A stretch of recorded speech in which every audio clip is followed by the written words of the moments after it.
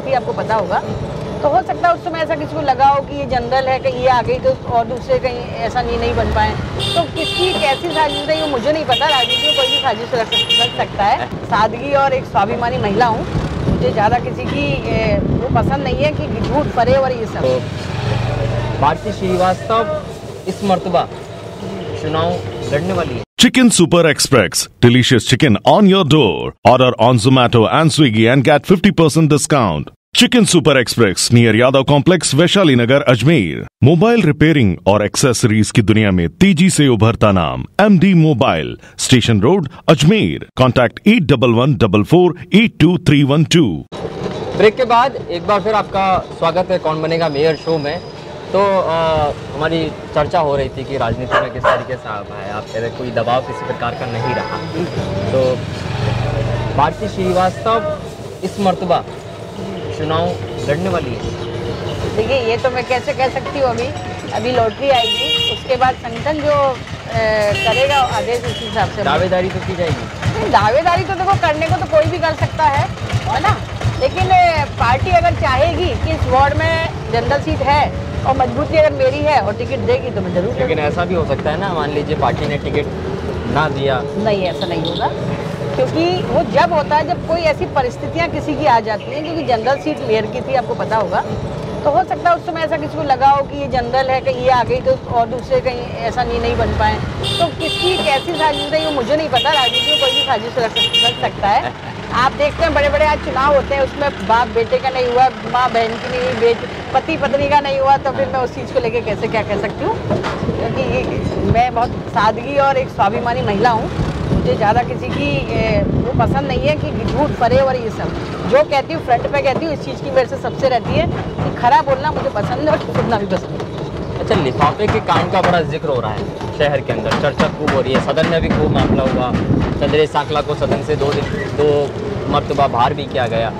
ये वाकई लिफाफे कांड में कोई सच्चाई है किसी ये लिफाफे कांड का जो आप कह रहे हैं पहली बात रुचि श्रीवास्तव पार्षद है।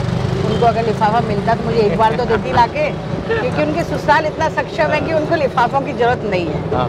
तो और ना ही हमारे मेयर साहब ऐसे हैं कि किसी को पैसों में खरीदेंगे। उनका जो दिल है और जो उनका काम करने का एक तरीका है वो हर पार्षद को बराबर समझ के काम करते हैं। तो ब्लेम लगाने को तो कोई किसी पे ब्लेम लगा देगा। आज मैं आपको कह दूँ कि आपने ऐसा करा तो आप आप जानते हैं ना आपने करा कि नहीं करा। तो ये तो खैर गलत है लिफाफे लिफाफे करके आज एक पार्षदों की छवि को खराब करना। और मैं तो कह रही हूँ ऐसा बोर्ड मैंने कभी नहीं देखा जिस तरह ये अभी ऐसे पार्षद आए जिन्होंने इस तरह की छवि को खराब करा है। हाँ। तो ऐसा नहीं होना चाहिए।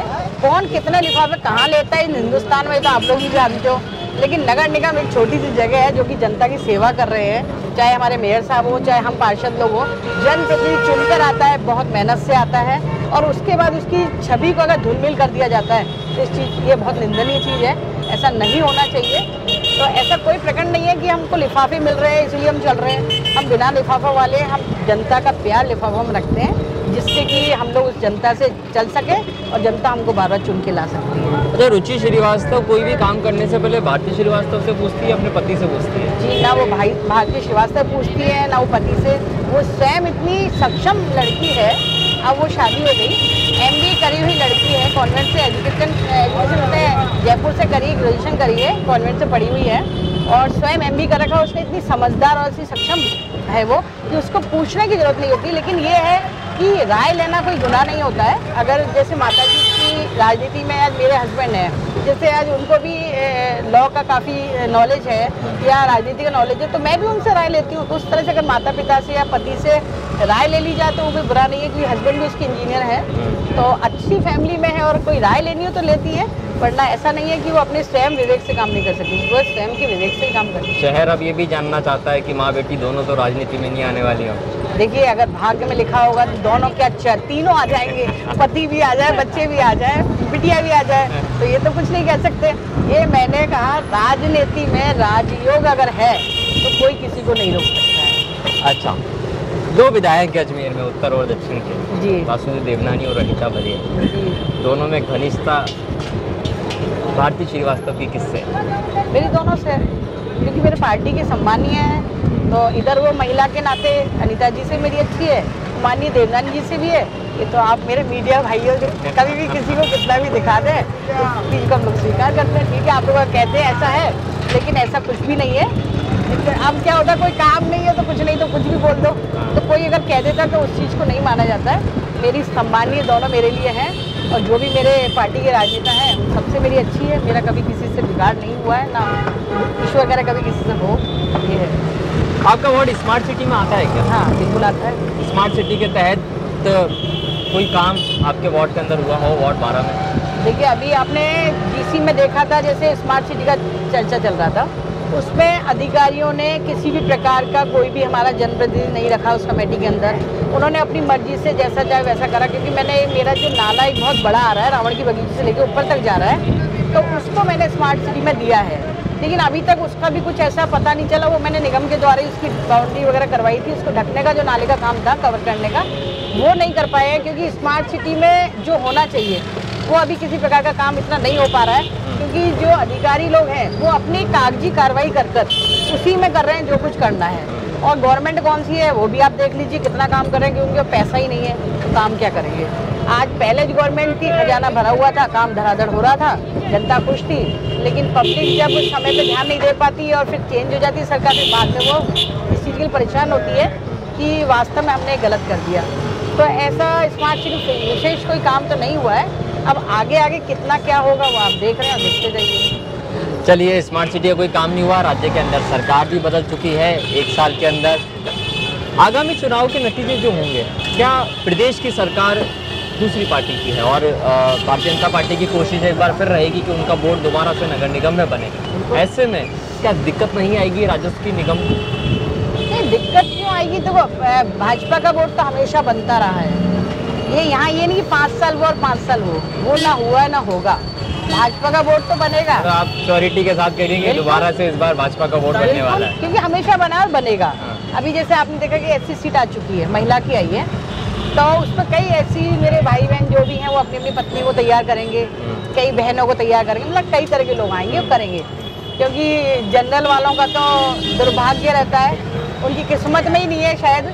क्योंकि उनको जो सीट मिल पाए। ये दुख है आपको बहुत? नहीं दुख तो है जनरल वालों को सभी को है कोई बोलता कोई नहीं बोलता। मैं बोल देती हूँ कि जनरल का जब जब काम हुआ है और मतलब सीट आई है कुछ ना कुछ ऐसा रहा है कि जनरल की सीट पे जनरल बैठ ही नहीं पाता। और मैं आपके माध्यम से ये भी कहना चाहूँगी मुझे इस चीज़ का बड़ा दुख होता है कि ऐसी सीट आएगी तो जनरल नहीं बैठ पाएगा। ओबीसी आएगी जनरल नहीं बैठ पाएगा। और जनरल आएगी तो सब बैठ जाओ आके। क्यों भाई? तो मैं तो ये भी कहना चाहूँगी इस चीज़ को भी चेंज करना चाहिए जिसकी सीट हो वही बैठो अन्यथा सब सीटों में सब बैठ जाओ। ऐसा भी होना चाहिए। क्योंकि एक ही कास्ट के साथ एक ही सीट में उसके साथ क्यों ऐसा होता है? तो भारतीय जी तो वास्तव आप मीडिया वाले ये चीज़ आप मीडिया वाले ये चीज़ को क्यों नहीं करते? नहीं हमें लगता है कि समाज के अंदर कि ये वो वर्ग है जो बहुत ज़्यादा पिछड़ा हुआ समाज में है। इसीलिए कुछ व्यवस्था हमारे संविधान में इस तरीके की तैयार की गई है जिसका शायद अगर दुरुपयोग हो रहा है तो कहना चाहिए पर नहीं हो रहा हो तो शायद नहीं कहना चाहिए। मोबाइल रिपेयरिंग और एक्सेसरीज की दुनिया में तेज़ी से उभरता नाम M D mobile station road Ajmer. Contact at double one double four eight two three one two chicken super express delicious chicken on your door order on Zomato and Swiggy and get fifty percent discount chicken super express near Yadav complex Vaishali Nagar Ajmer देखिए पिछड़ा वो तो है। क्या general caste में नौकरियाँ मिल रही हैं? है ना इसलिए आप ही की मोदी सरकार लेकर आई ना आर्थिक आधार पर देखिए मोदी सरकार तो अभी क्या करने जा रही है वो आप सब देख रहे हो। फिर आपका दिल जानता है कि कितना अच्छा कर रही है जो वास्तव में पहले हो जाना चाहिए था जो अब हो रहा है। तो मोदी मोदी लोग कर रहे थे ऐसे ही थोड़ी कर रहे होंगे। आज बच्चा भी जानता है पीएम कौन है हमारा। पहले हर कोई नहीं जानता था कि पीएम कौन है। तो मोदी जी का तो खैर कहना ही अलग है कि मोदी जी जो इस काम को कर रहे हैं ऐसा पहले किसी ने नहीं करा और ये शायद पहले आ गए होते तो आज हिंदुस्तान हमारा जनक कहाँ से कहाँ हो? जाता चलिए अब जिस इलाके से हम जा रहे हैं तो स्मार्ट सिटी के तहत एलिवेटेड रोड का निर्माण हो रहा है। भारतीय श्रीवास्तव को लगता है एलिवेटेड रोड इस शहर की ज़रूरत थी। देखिए अजमेर शहर एक बहुत छोटा सा शहर है। बहुत कंजेस्टेड है। जैसे आप मेरे वार्ड में भी अभी घूम के आए वहाँ गलियाँ बहुत थी। उन गलियों में ही हम भी बड़े हुए हैं पले हैं सब कुछ है। गलियों से ही निकल कर आज हम लोग यहाँ नेता बन के अपने जनता की सेवा कर रहे हैं। तो इसी प्रकार से जैसे आप देख रहे हैं क्लक टावर एरिया आ गया मदागिट मेरा एरिया है। और एक मैं आपको अभी याद आ गई गड्ढा आया इसलिए कि आप कह रहे थे कि आपके रोडों पे गड्ढा क्यों है? तो मेरे रोडों पे गड्ढा इसलिए है क्योंकि जब जैसे टाटा वाले अभी आए थे, उन्होंने रोड को खोद दिया। ठेकेदार ने वहाँ लिख के दे दिया, लेकिन नगर निगम को अभी तक ये, उन्होंने पैसे पेनल्टी जमा नहीं कराई। तो वो गड्ढा वहाँ पे लाइन डल गई उनकी। लेकिन लाइन डलने के बाद आज तक उसकी पूर्ति नहीं हुई कि उस रोड को भरा जाए गड्ढे को। तो इस तरह से जो ए, ये लोग ठेकेदार जो टेंडर डालते हैं और इस कई कोताहियाँ बरत देते हैं वो नहीं होनी चाहिए इसकी मॉनिटरिंग होनी चाहिए कि आपने जहाँ पर लाइन डाली है, वहाँ पर आपने उसको वास्तव में पूरा कवर कर दिया कि नहीं कर दिया। तो जहाँ हमारी कमी रहती है, उस चीज़ का खामियाजा हमारी जनता को भुगतना पड़ता है और हम जैसे जनप्रतिनिधि को भुगतना पड़ता है, जब एक इतना गड्ढा होता है, बारिश के पानी से वो गड्ढा बढ़ता जाता है और उस चीज़ का दुख हमको होता है, कंपनियाँ बड़ी बड़ी आती हैं, वो ये काम करके अपना करके उल्लू सीधा करके चली जाती हैं और हम लोगों को यहाँ पर भुगतना पड़ता है। दूसरा, आपने एलिगेट के लिए कहा तो ये समस्या यहाँ नहीं थी, अगर नहीं बनता तो कोई दिक्कत नहीं थी। लेकिन आप जैसे जाएँगे नाका मदार साइड और उस साइड देखेंगे, सुभाष नगर का जो फाटक है। ऐसी जगह पर अगर ब्रिज हो ना तो जैसे दो दो मिनट में वहाँ पे गाड़ियाँ निकलती रहती हैं। फाटक बंद हो जाता है। कई बार किसी की इमरजेंसी होती है। उस इमरजेंसी में उनको निकलना है और फाटक बंद हो गया तो उनको समस्या काफ़ी हो जाती है। तो ऐसी जगहों पर बहुत ज़रूरी है ब्रिज बनना, ना कि हमारे इधर की साइड क्योंकि अभी जो हमारे शॉपकीपर यहाँ जितने भी हैं शॉप वाले जब ये से बहुत परेशान स्टार्ट हुआ है तब से उनकी मतलब दुकान पे लोगों का आना बंद हो गया है। धूल के मारे इतनी डस्ट जम गई उनकी दुकान में कि उनके हालात बहुत ख़राब हो चुके हैं। तो थोड़ा सा जनता की इस चीज़ को देख ध्यान में देते हुए कंपनियों को काम या तो ले रही है तो जल्दी करना चाहिए। और स्मार्ट सिटी के हिसाब से अगर स्मार्ट बना रहे हैं आप उस ब्रिज को तो वास्तव में वो स्मार्टनेस उसमें रहनी चाहिए। ऐसा नहीं कि उसमें हमें कच्चा माल डाल दिया कभी ब्रिज नीचे आ गया कई बार देखते हैं बड़े बड़े देशों में ब्रिज नीचे आ जाता है कभी कुछ हो जाता है। तो इनकी वो अधिकारियों को या जिस भी कलेक्टर लेवल पर जो भी काम होते हैं उनको आप इन लोगों को देख के और करना चाहिए ताकि उसमें मजबूती रहनी चाहिए टाटा का ज़िक्र आया। टाटा कंपनी को बीजेपी की गवर्नमेंट ने अजमेर में लेकर आई हाँ। टाटा की सुविधाओं से खुश है? हाँ बिल्कुल खुश है। वो तो आप भी खुश होंगे आप खुद देख रहे हैं हँसी आपको इसलिए आ रही है। टाटा का ज़िक्र आपने किया